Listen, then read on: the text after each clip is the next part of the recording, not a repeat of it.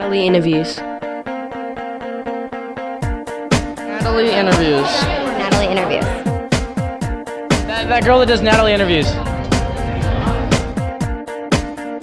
Natalie interviews. Natalie interviews. NatalieInterviews.com.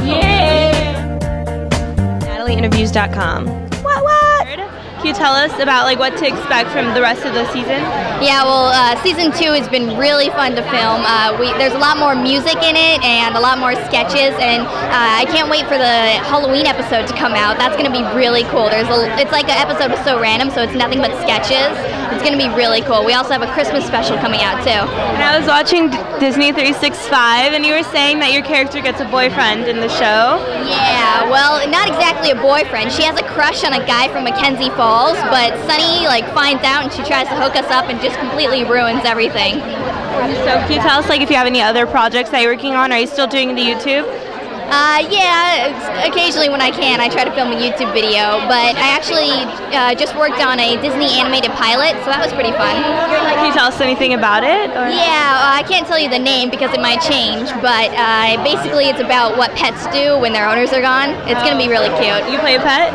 Yeah, I really hope I really hope it gets picked up.